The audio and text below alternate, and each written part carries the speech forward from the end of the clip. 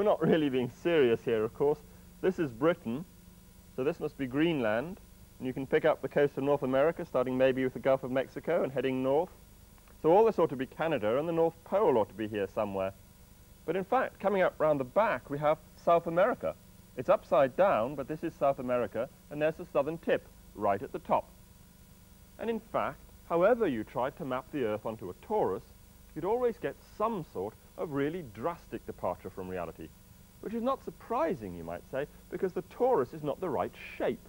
But the usual representation of the Earth's surface as the surface of a sphere is not exactly right either. The Earth is a little flattened at the poles. Yet in contrast with the torus, there's nothing really drastically wrong with this map. The reason for that is just what you feel intuitively, that the sphere is an acceptable approximation, but that the torus is really fundamentally different from the Earth's surface. In mathematics, it's the subject of topology, which captures that intuitive sense we all have that there are sphere-like surfaces which are all more or less the same sort of shape, but that these differ fundamentally from torus-like surfaces. That is, topology certainly distinguishes between the sphere and the torus, but it doesn't distinguish between the sphere and the Earth's surface. In fact, it doesn't even distinguish the sphere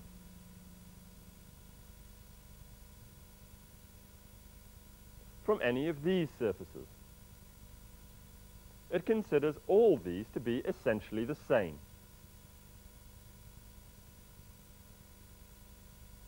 The advantage of this crude attitude towards surfaces is that it takes the enormous variety of surfaces we see all around us and reduces them down to a manageable set of classes.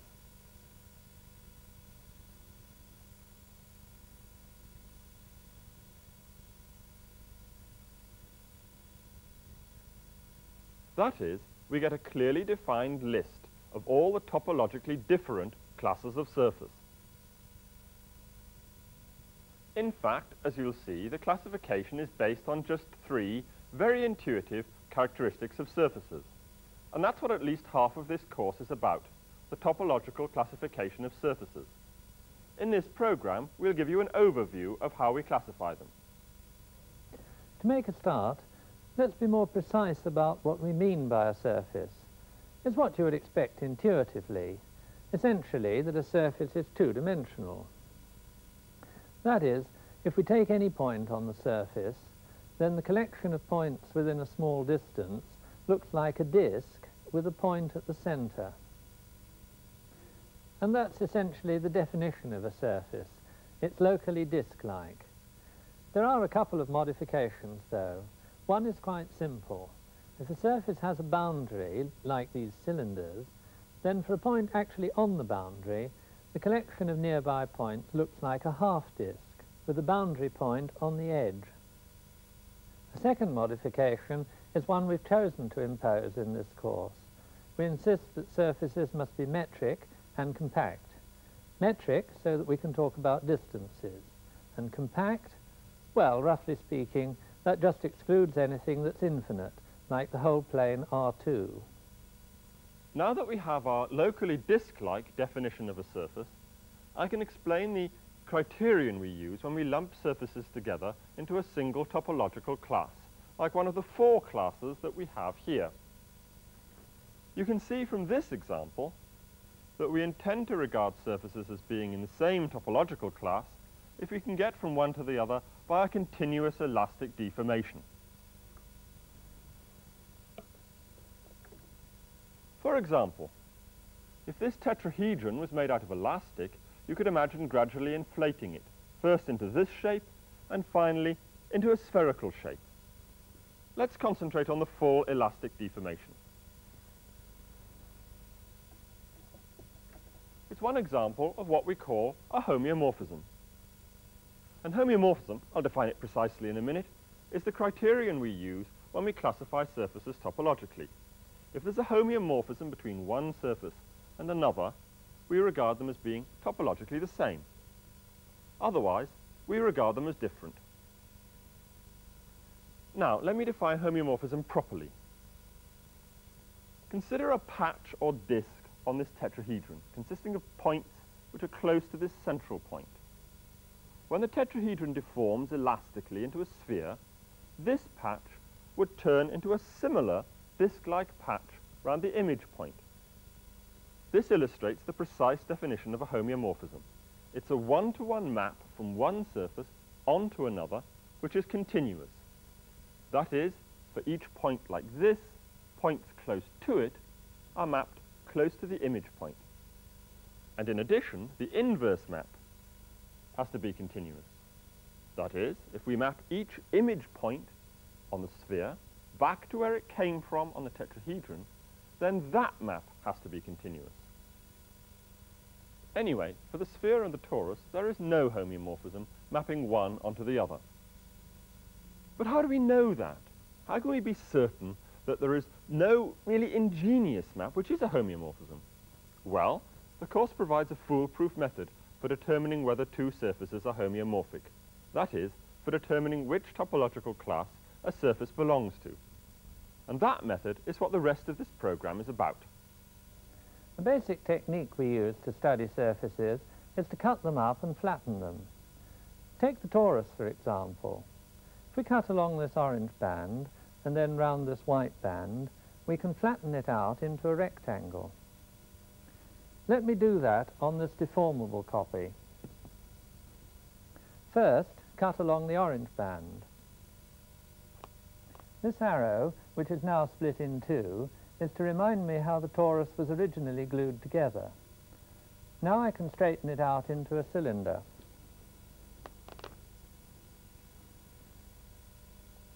And now I have to cut it along this white line, which was originally this white circle.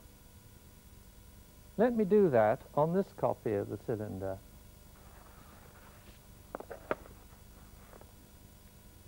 And that does it. Now, what's the point of doing this? Well, the rectangle I've ended up with is topologically the same as this object, the torus with two cuts in it. The homeomorphism between them is the deformation I just performed of opening out and flattening. So if you now imagine these edges are still being glued together, then what you've got is topologically equivalent to this with the edges glued together, which is the intact torus. And that's how you have to interpret this rectangle. In your mind, you have to identify the two white edges as a single edge and the two orange edges as a single edge. If you do that, then you can study the torus by studying the rectangle with these identifications understood on the edges. Now, if we can cut and flatten all our surfaces, we'll end up with flat rectangles or other polygons to study. And these will be easier to work with and therefore to classify than the original surfaces. Let's take another example, the sphere. If we cut the sphere from the North Pole to the South Pole, we can open it out and flatten it into a map like this. We've indicated the cuts by the coloured edges. In the northern hemisphere, this white edge is 180 degrees east meridian, which is, of course, the same as the 180 degrees west, and the same for the red edges in the southern hemisphere. You can see how we could recover the sphere by bending these edges backwards and gluing them to give this drawing down the Pacific.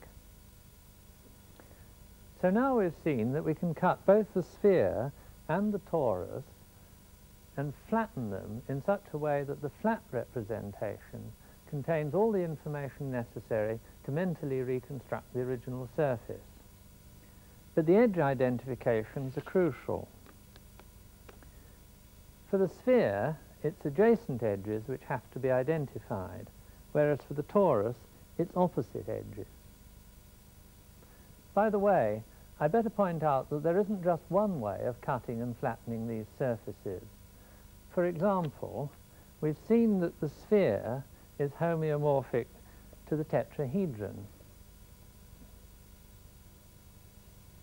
This suggests another way of flattening. having deformed the sphere into the tetrahedron, we can just cut along these three edges and flatten out like this, giving a flat representation consisting of four triangles glued together into a six-sided polygon. The six outside edges are identified in three pairs, this white pair, this mid-green pair, and this dark red pair. This new representation of the sphere still contains all the information necessary to reconstruct the original surface, or should I say, the original class of surface. The identification of the edges in pairs specifies the tetrahedron, but that's in the same topological class as the sphere.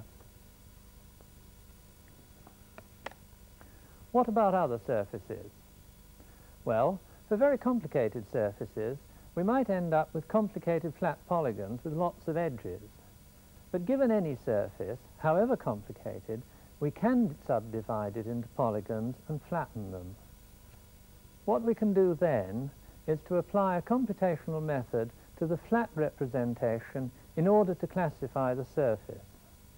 The method effectively includes calculating a number for each surface called the Euler characteristic of the surface.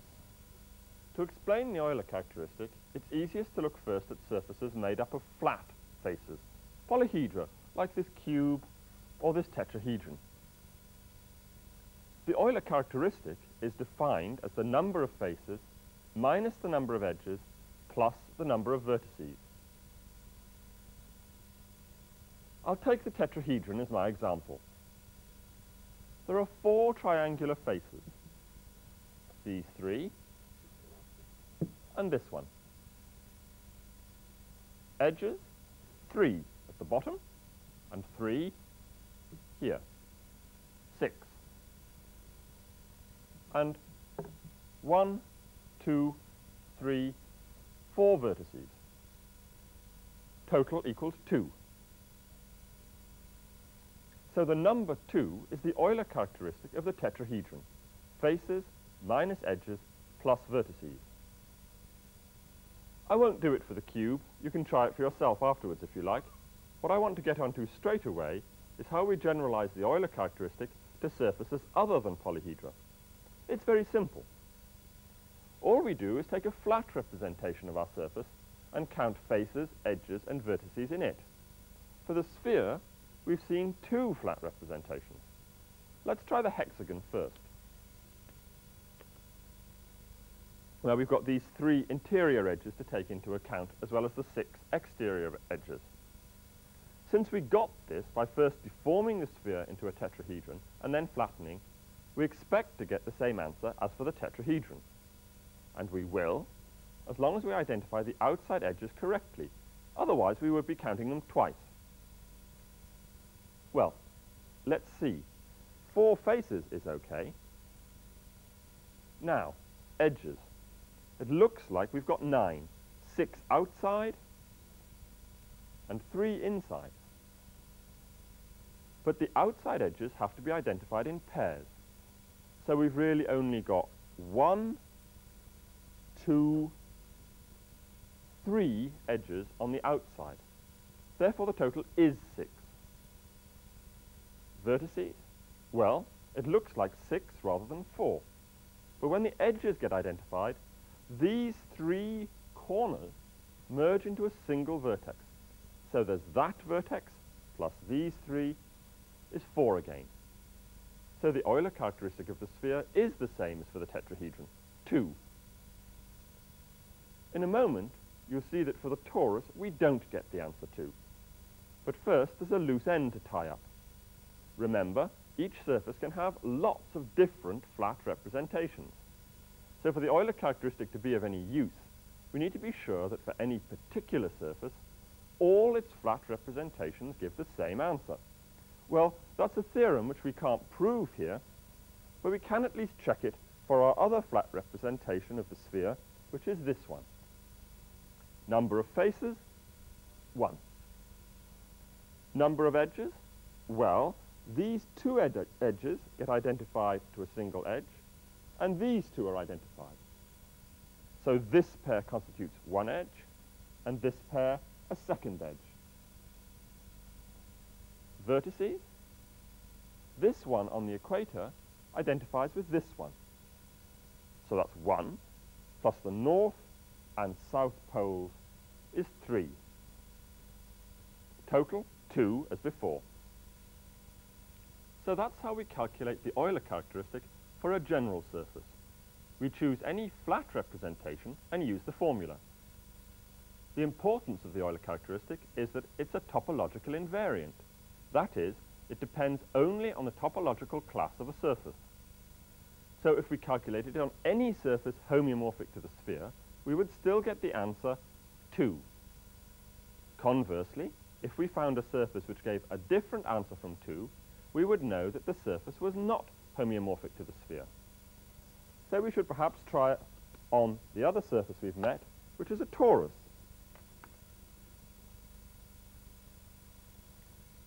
Here's our torus, and we'll use the flat representation we had of it before as a rectangle like this. It has one face, two edges, because this pair constitutes a single edge, and this pair a second edge. Vertices, actually all four corners constitute a single vertex. You can see that more easily on the cut torus. You see that all the four corners have to join up. So there is only one vertex, and the Euler characteristic is zero, two less than for the sphere. Again, the number zero is independent of how I subdivide the torus to make a flat representation. I won't bother going through the computation for a different subdivision, but let me show you one just for interest. This one actually cuts the torus into six rectangular faces, which I can flatten. And if you computed the Euler characteristic on it, you would get zero as before. And that's the important point. The torus has a different Euler characteristic from the sphere, zero instead of two. And as I said before, the Euler characteristic is a topological invariant. So whenever you find it different for two surfaces, like the sphere and the torus, you've established that they're in different topological classes. In fact, the Euler characteristic can do rather more than tell us that two surfaces are different. It can tell us how different. In the case of the sphere and the torus, the difference of two in the characteristics is a direct consequence of the hole in the torus. To show you why, I'm going to take a sphere with a subdivision on it and convert it into a torus. And you'll see that this reduces the Euler characteristic by 2. I've chosen a subdivision which includes two triangular faces opposite one another. And to make this into a torus, I can make a hole in it by first removing these two triangles. This leaves two triangular boundary curves which I can then push inwards until the front one meets the back one. And the torus I would get if I did that would have the subdivision you saw earlier. The two triangular boundary curves merge to form this inner triangular curve. We lose one triangular curve in going from here to here.